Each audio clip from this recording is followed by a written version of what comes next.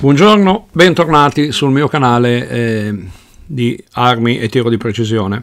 A noi piace parlare di eh, armi evidentemente per scopi sportivi, oggi purtroppo non parliamo di questa cosa ma eh, di un evento eh, che ha segnato la storia sicuramente eh, del mondo. Eh, nella fattispecie l'evento del, dell'assassinio di John Fitzgerald Kennedy in quel di Dallas eh, ad opera si dice e pare di Lee Oswald e del relativa, della relativa arma eh, che fu utilizzata eh, per questo omicidio, ovvero il eh, Mannlicher Carcano, eh, fucile italiano, fucile utilizzato, fucile di ordinanza eh, italiano, di ordinanza nella seconda guerra eh, mondiale. Eh, è un brevetto del 1867 di Carcano.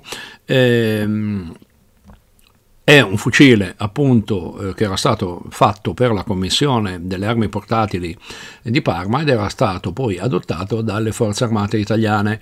Non stiamo a farla particolarmente lunga, non stiamo a raccontare la storia del Mannlicher Carcano, del fatto che fosse uscito all'inizio con un calibro successivamente ridotto al calibro 6,5.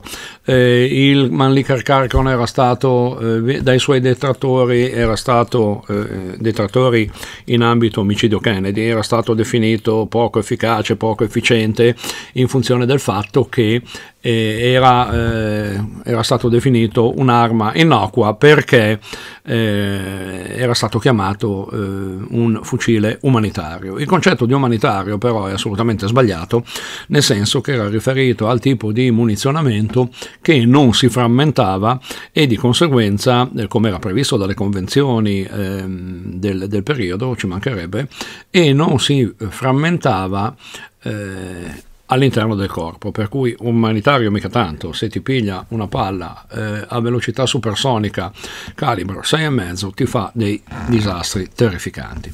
Eh, per cui chi dice arma inadatta a uccidere dice una scemenza di proporzioni galattiche. Um, la commissione che indagò sull'omicidio Kennedy, la famosa eh, commissione Warren, approvò che il Carcano era stato comprato da, sotto falso nome da Lee Harvey Oswald eh, per corrispondenza e gli Stati Uniti sono così.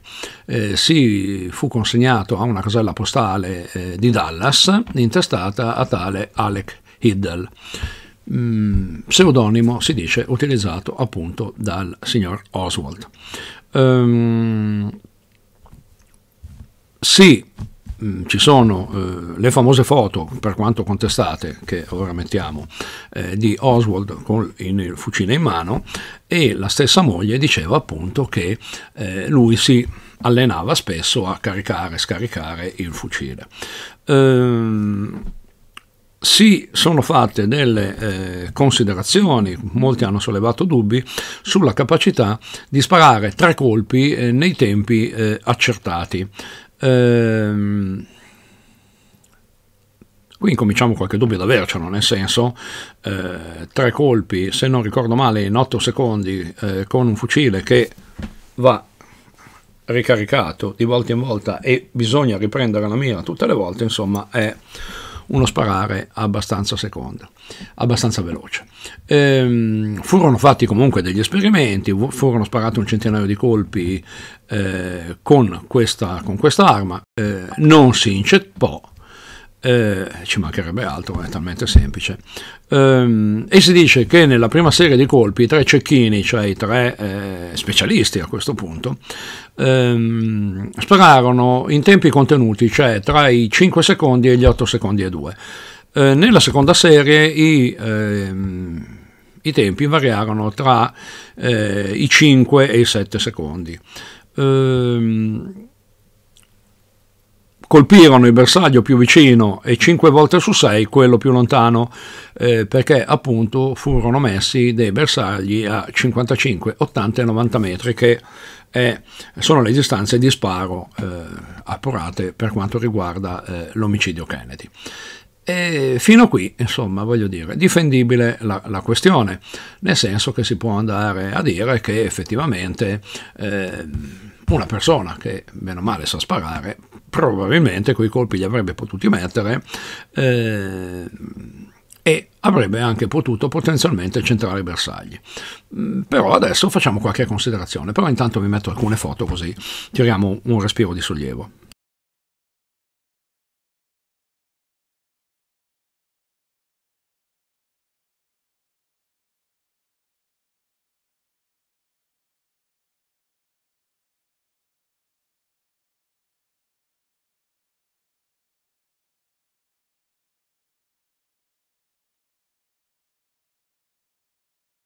A questo punto però facciamo una considerazione di carattere più generale, eh, cioè eh, non mi interessa un discorso cospirazionista, nel senso che qui bisogna capire bene eh, una differenza fondamentale che ultimamente, anche alla luce degli ultimi schieramenti pro Novax, eccetera, eccetera, e in generale di quello che è diventato la tendenza, soprattutto nei social, ehm, una tendenza che io trovo abbastanza preoccupante, ovvero il fatto di eh, voler avere maggiori informazioni, voler capire e porsi dei dubbi non significa necessariamente precostituire delle tesi. Ok? Per cui se io chiedo, eh, mi spiegate come hanno fatto gli astronauti a passare indenni dalle fasce di Van Allen, noto chitarrista come sapete, ehm, Ebbene, qualcuno eh, mi risponderà, ce l'hanno fatto perché si sono fatti degli esperimenti da cui si è visto che la protezione dell'astronave era tale da non creare dei problemi la cosa è scientifica, è viva, siamo tutti contenti e nessuno può mettere dei dubbi, ma il fatto di chiedere eh, è più che lecito e il fatto di chiedere non significa di conseguenza essere, eh, come si dice, terrapiattisti, cospirazionisti, eccetera. Ok? Il che significa eh, è sacrosanto porsi delle domande. Perfetto. Ci tengo a questa cosa perché un conto è porsi delle domande, ripeto, un conto è poi dietro a queste cose prospettare delle, delle tesi. Io non sto prospettando alcuna tesi, mi piacerebbe capire meglio alcune cose. Esempio, qualcuno ha sostenuto che Lee Harvey Oswald fosse un pessimo tiratore. Non ci sono riscontri in tal senso, anzi, il Lee Harvey Oswald ha avuto un addestramento nei Marines, tra l'altro anche un addestramento al tiro, come testimonia eh, il diploma che ora vi metto.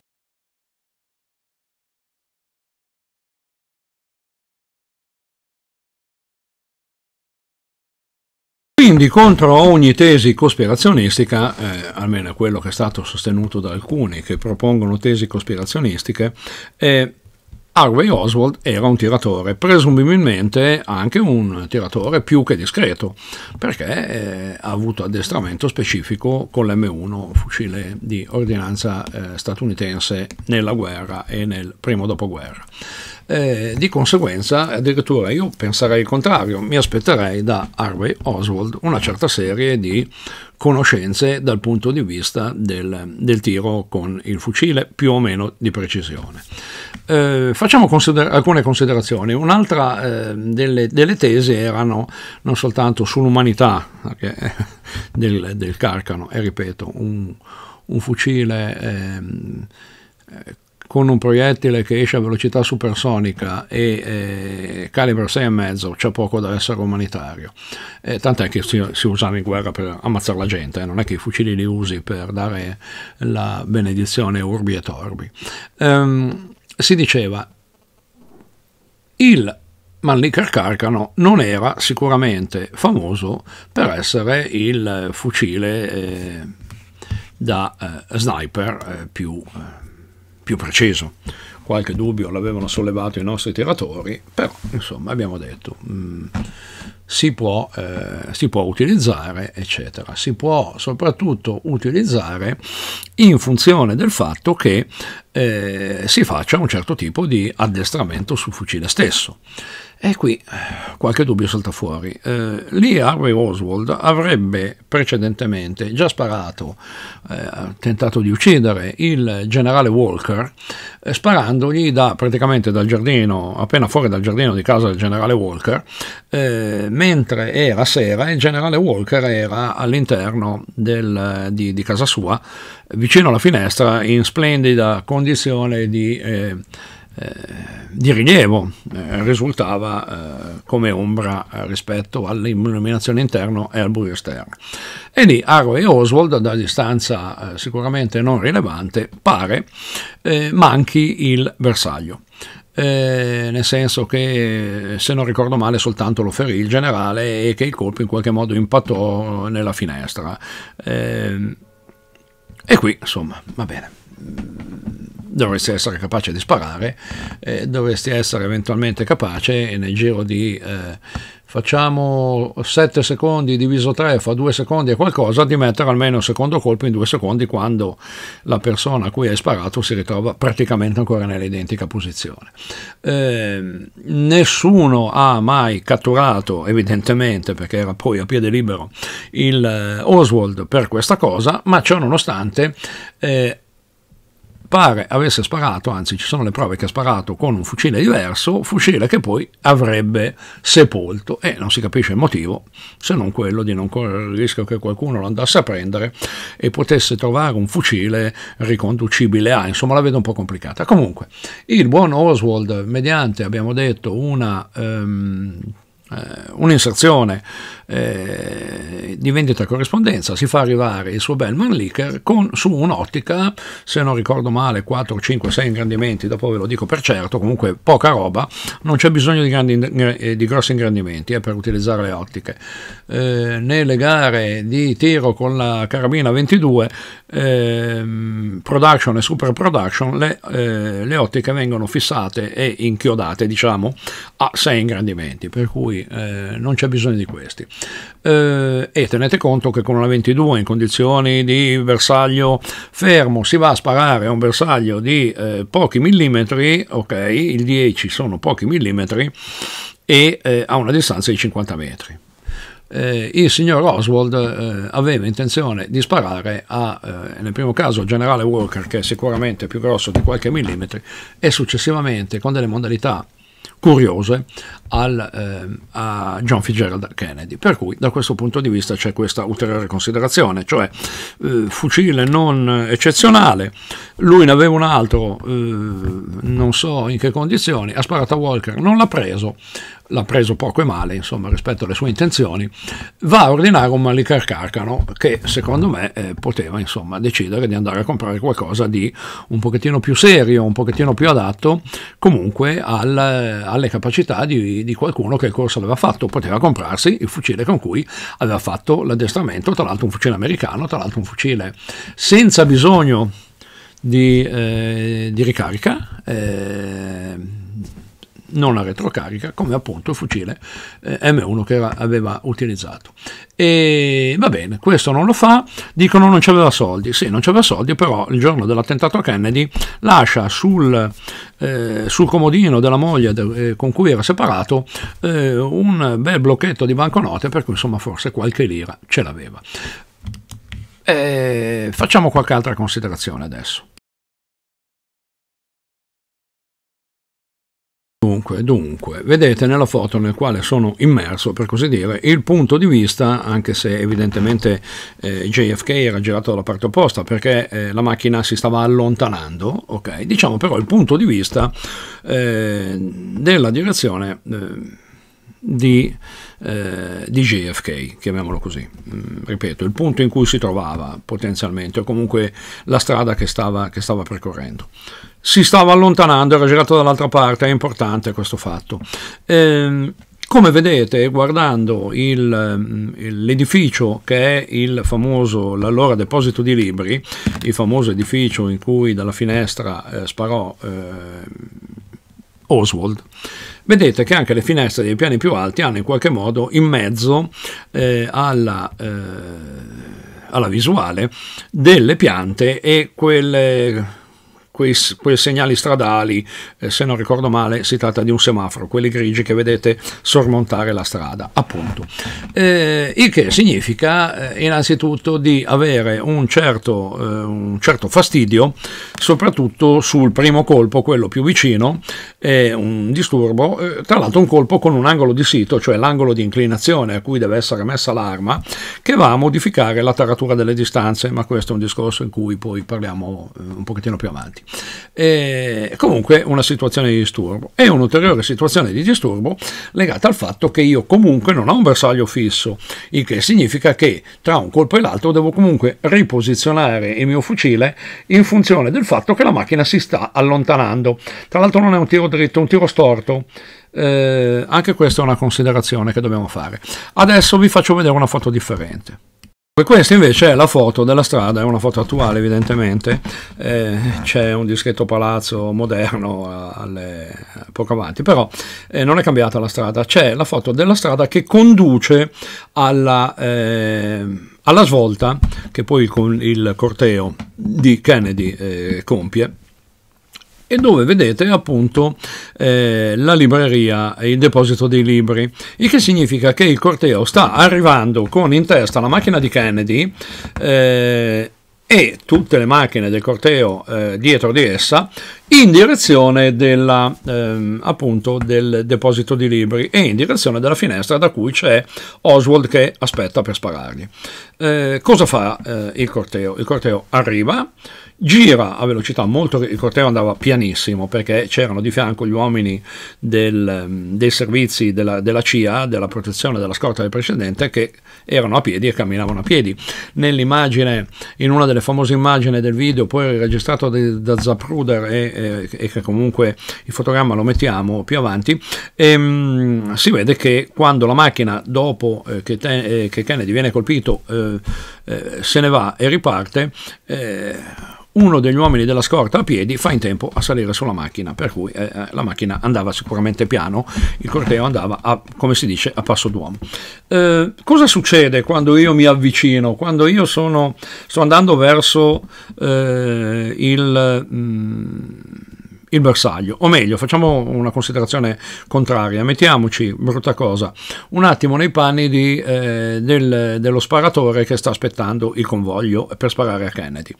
Eh, si ritrova una finestra che davanti a sé ha l'arrivo di un convoglio, un convoglio a velocità d'uomo, a velocità di passo d'uomo, ok?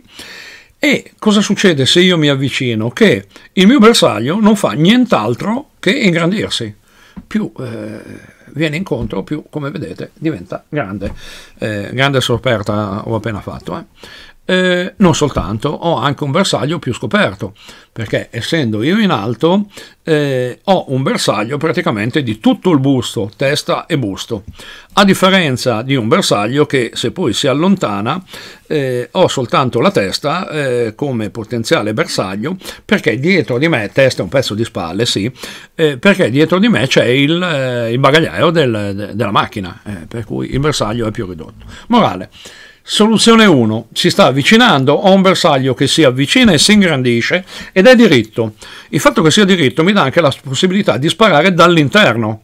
Per cui se sto anche un metro più indietro e nessuno mi vede, non è cambiato niente, perché il bersaglio è sempre lì e si avvicina. Cosa fa Oswald?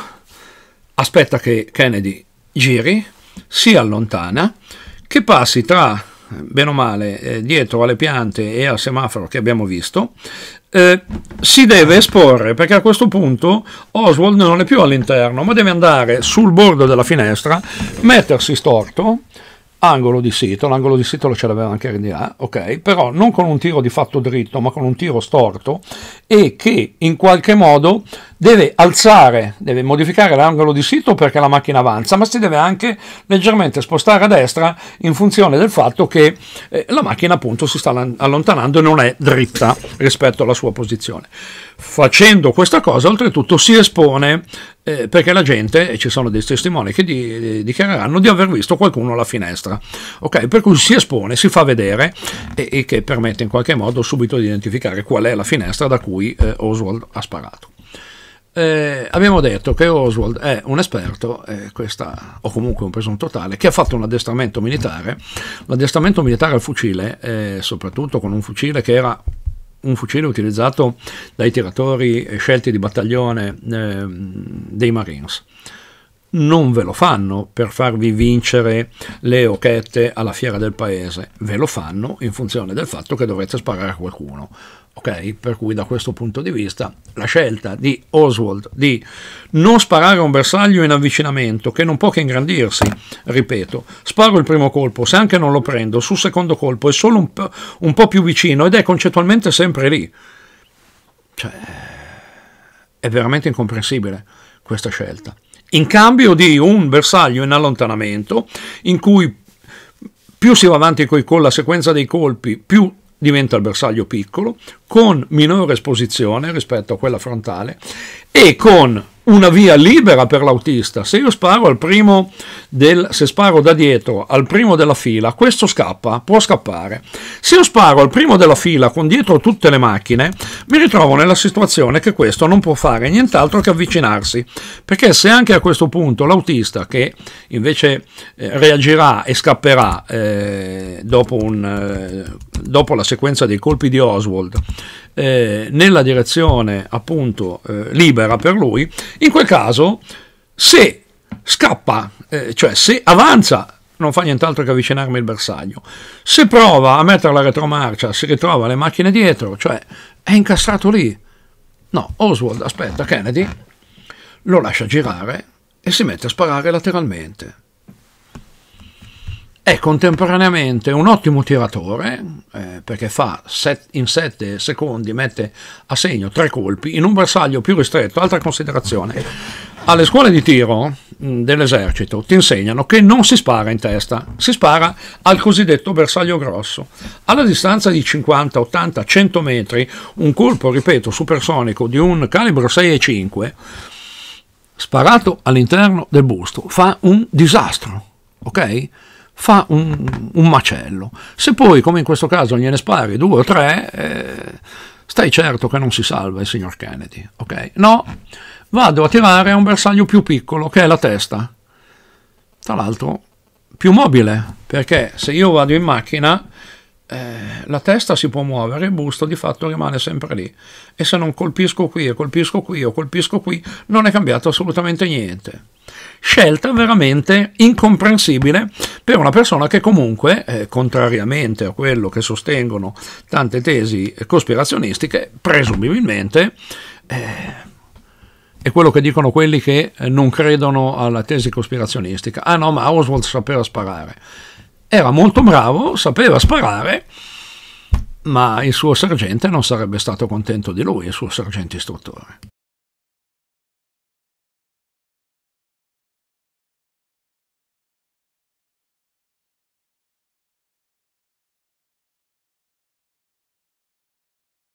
Ma, ma, così non è andata, eccoci di nuovo qua, eh, siamo di nuovo nella posizione in cui, bene o male, eh, nella zona in cui eh, JFK viene raggiunto dai colpi eh, sparati alle spalle. Sparati alle spalle.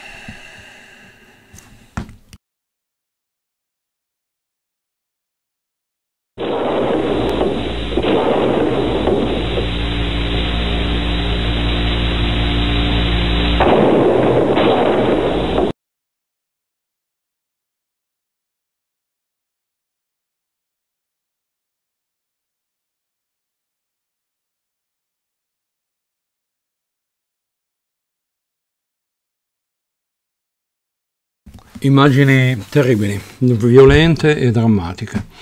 Eh, si vede la moglie di Kennedy, Jacqueline Kennedy, che si, si distinto si tuffa per prendere sul, sul cofano posteriore della macchina le, i pezzi di materiale cerebrale e di osso.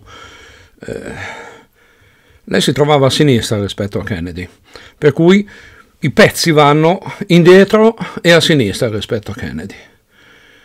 Indietro e a sinistra, ma se io ricevo un colpo da dietro, da destra, perché quello era l'allenamento di Oswald, i col- i per- le parti dovrebbero andare avanti a sinistra. Indietro a sinistra fa presupporre che io ricevo il colpo da, dalla mia destra. Dalla mia destra e da davanti c'è qualcosa che non torna. Qualcuno ha parlato di uno strano effetto di risucchio, di cavitazione del proiettile all'interno della testa. eh, tra l'altro le immagini dell'autopsia non, hanno, eh, non mostrano eh, la perdita di una grossa parte eh, frontale, perché se riceve un colpo da destra, dietro dovrei avere in uscita eh, una grossa, su un calibro così potente, una grossa esportazione di materiale. Non lo so, eh, francamente io non, non sono in grado di spiegarla questa cosa.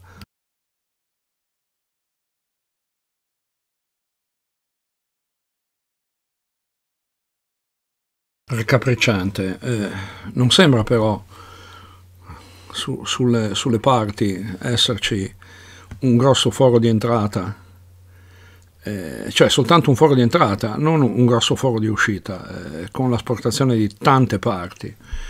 Eh, questa cosa è abbastanza contraddittoria.